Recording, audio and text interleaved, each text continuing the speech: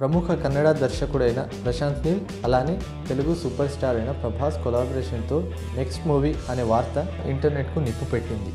ఈ చిత్రం దాని ఫస్ట్ లుక్ మరియు ఇతర సంబంధిత విషయాలకు సంబంధించి దేశవ్యాప్తంగా నార్త్ సైడ్తో సహా విపరీతమైన సంచలనం క్రియేట్ చేసింది. కన్నడ సినిమా సంస్థ అయిన హుంబాడే ఫిలిమ్స్ కొన్ని రోజుల క్రితమే ఈ గొప్ప ప్రకటన చేసింది.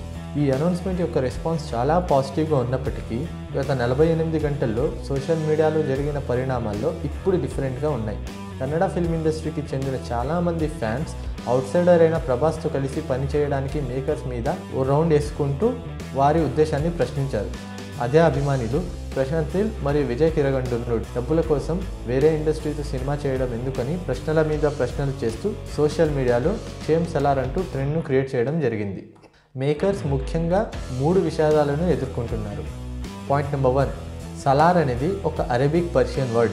మన ఇండియన్ సినిమాకి అరబిక్ వర్డ్ పెట్టడం అవసరమా అధ్యక్ష? అని.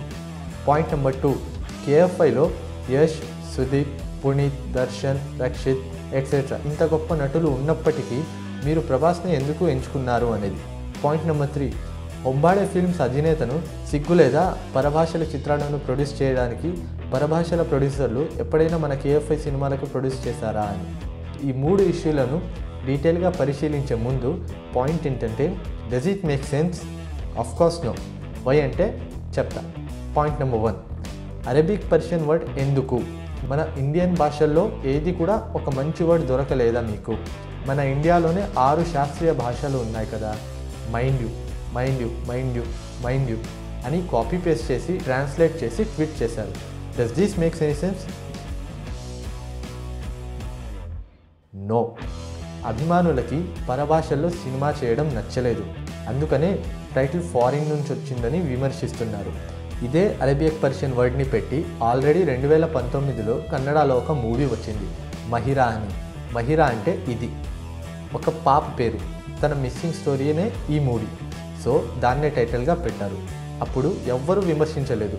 ఇప్పుడు మాత్రం తెగ తిడుతున్నారు. అలానే సలార్లో కూడా ఏదో స్టోరీ ఉండొచ్చు సలార్ మీద. ఒక డైరెక్టర్కి స్టోరీ ఎంత ఇంపార్టెంటో టైటిల్ కూడా అంతే ఇంపార్టెంట్. చాలా టైం ఎన్నో టైటిల్ తీసుకొని స్టోరీకి ఏది బాగా సూట్ అవుతుందో అదే టైటిల్ని ఫిక్స్ చేస్తారు. అది అందరూ గమనించాలి. Point number two. కేఎఫ్ఐలో గొప్ప నటులు ఉన్నప్పటికీ బయట నటుడితో సినిమా చేయడం ఎందుకు అని ప్రశాంత్ నిల్ మీద నిందలు.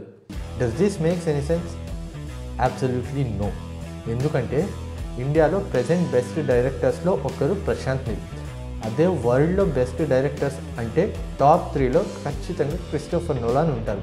అంత గొప్ప డైరెక్టర్ అయిన నొలాన్ గురించి మీకు తెలియని ఫ్యాక్ట్ ఏంటంటే జూనియర్ ఎన్టీఆర్ని సింహాద్రి ముందు సింహాద్రి తర్వాత అన్నట్టు రాబర్ట్ టోనీ జూనియర్ని ఐరన్ మ్యాన్ ముందు ఐరన్ మ్యాన్ తర్వాత అన్నట్టు క్రిస్టోఫర్ నోలని బ్యాట్మెన్ సిరీస్ ముందు బ్యాట్మెన్ సిరీస్ తర్వాత అంటారు. బ్యాట్మెన్ ట్రియాలజీని ఆయన కేవలం తన స్వంత సినిమాల రికగ్నైజేషన్ కోసమే డైరెక్ట్ చేశాను అని స్వతహా నొనాల్ గారే ఒక ఇంటర్వ్యూలో చెప్పడం జరిగింది. ఎందుకంటే బ్యాట్మెన్ బిగిన్స్కి ముందు నొలాన్ ఎవ్వరికీ తెలియదు కాబట్టి. అలానే ప్రశాంత్ నీల్ కూడా కొంచెం ఫేమ్ అండ్ రికగ్నైజేషన్ పొందాలని సలార్ మూవీ చేస్తుండొచ్చు. ఆర్ ఓ ఇండస్ట్రీ మ్యూజిక్ డైరెక్టర్ ఇంకో ఇండస్ట్రీకి మ్యూజిక్ కంపోజ్ చేసినట్టు ఓ ఇండస్ట్రీ డైరెక్టర్ ఇంకో ఇండస్ట్రీ ఫిలిమ్స్ని డైరెక్ట్ చేయొచ్చు అనే పాయింట్ మీద cinema తీస్తున్నాడేమో.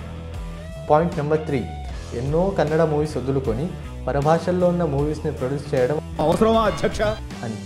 Does this makes any sense actually yes ఎందుకంటే ఇతను ఒక ప్రొడ్యూసర్ హండ్రెడ్ పర్సెంట్లో ఓన్లీ టెన్ పర్సెంట్ ప్రొడ్యూసర్కి మాత్రమే సినిమా పిచ్చి ఉంటుంది. మిగతా నైంటీ పర్సెంట్ ప్రొడ్యూసర్కి డబ్బు పిచ్చి ఉంటుంది. హొంబాడే కూడా ఈ రెండిట్లో ఏదైనా ఒకటి ఉండొచ్చు. అసలుకి ప్రొడ్యూసర్ పని డబ్బులు సంపాదించడం. బికాస్ డబ్బుకి సినిమాతో సంబంధం లేదు ఇండస్ట్రీతో ఇంటర్లింక్ లేదు.